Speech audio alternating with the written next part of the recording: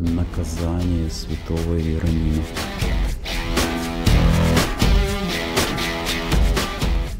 Да, святой Иероним, верно, выгребал по полной.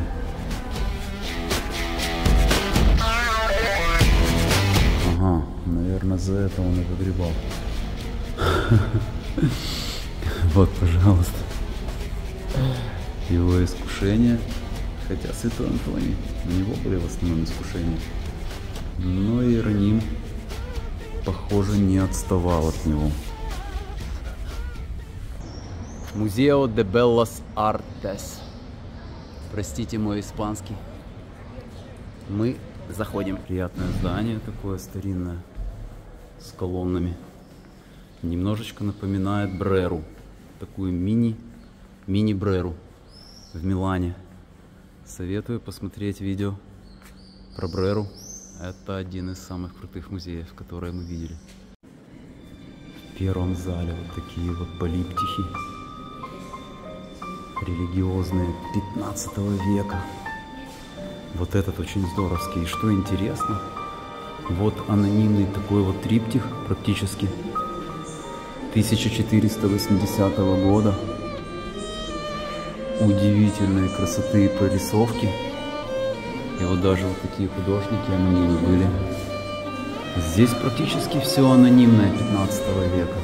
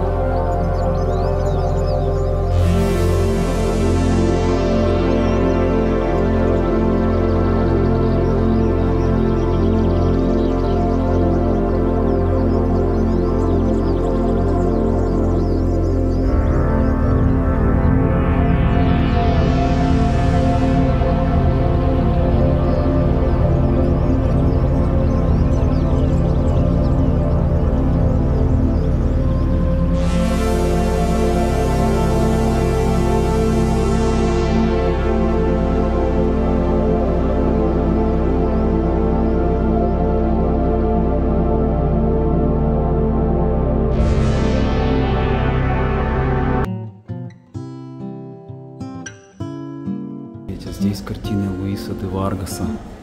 Это художник позднего возрождения. Жил он с 1505 по 1567 год. И в основном работал в Севилье, хотя тоже ездил в Рим. Наверняка учиться. И вот здесь зал его картин. Святой Себастьян, Мадонна с младенцем.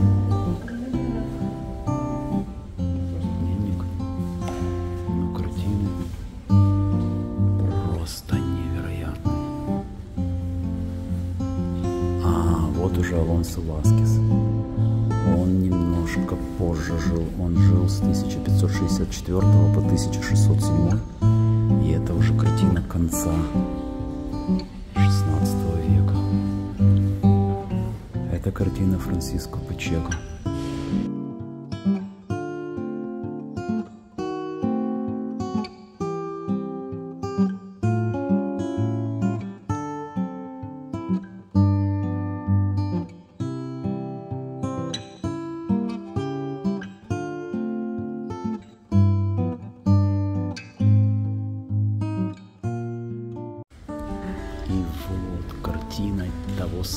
Диего Веласкеса, придворного художника короля Филиппа IV.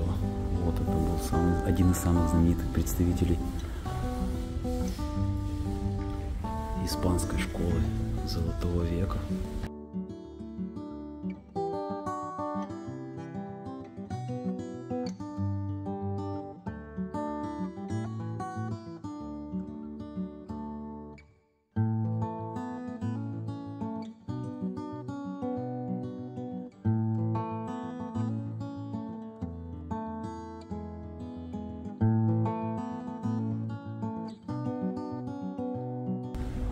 Алонсо Кано. Очень интересная техника. Обалдеть.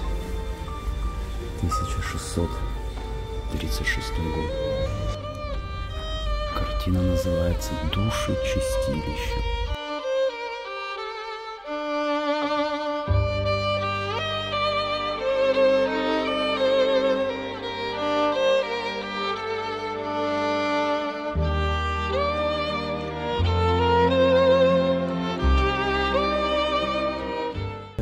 Непорочная концепция уже 17 века, 1672 года. Хуана де Вальдес Лила. Тоже очень много детей. Но лица детей вот на многих картинах 16-17 века такое впечатление, что это как-то будто рисовали взрослого человека и придавали, в общем-то, черты ребенка. Такие вот идиотские лица вот, детей. А лица взрослых они рисовали очень клево.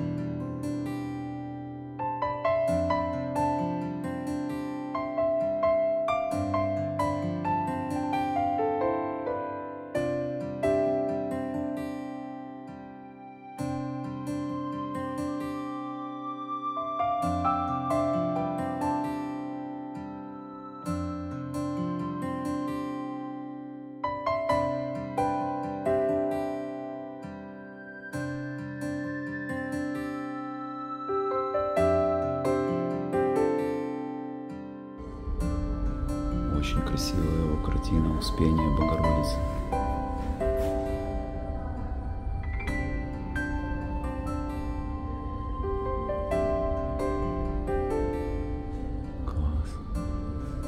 Да, и с детскими лицами такая же проблема. С детскими лицами такая же проблема. Они как будто такие немножко опухшие. на портрет Рубенса похоже. Вот он тоже с таким носиком. Такое впечатление, что все дети рисовали с портрета Рубенса. А он себя любил рисовать. Так, кто здесь душит змея? Ага.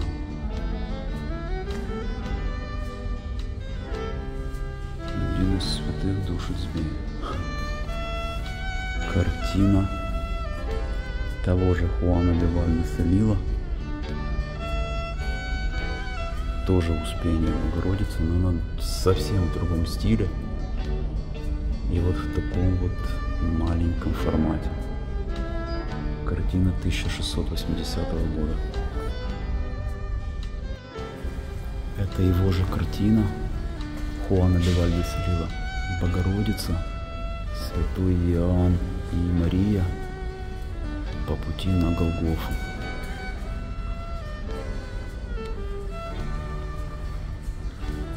Очень трагические лица переданы. Красивая картина.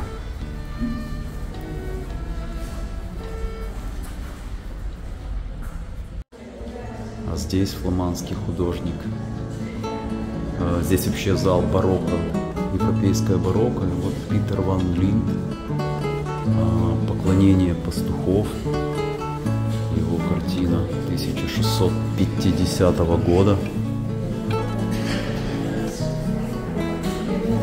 Вот видно, что лица прорисованы уже в фламандской манере. Вот я все время вот эти вот лысые губы рубенсовские. Вот видно, что это уже была другая школа. И младенец нарисован уже более-менее как младенец. Но лица людей вот совсем нарисованы по-другому. Ух ты, Ян Брейгель. Это же сын Брейгеля. Вот как райский сад выглядит я, по Яну Брейгелю. Обалдеть! 1620 год. Райский сад. Вау, вот это класс! Мы смотрели много картин Питера Старшего, а это вот его сын Ян. И вот так вот райский сад с райскими животными.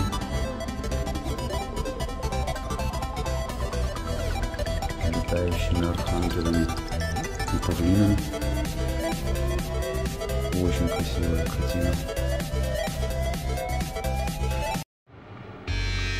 Sometimes I feel like a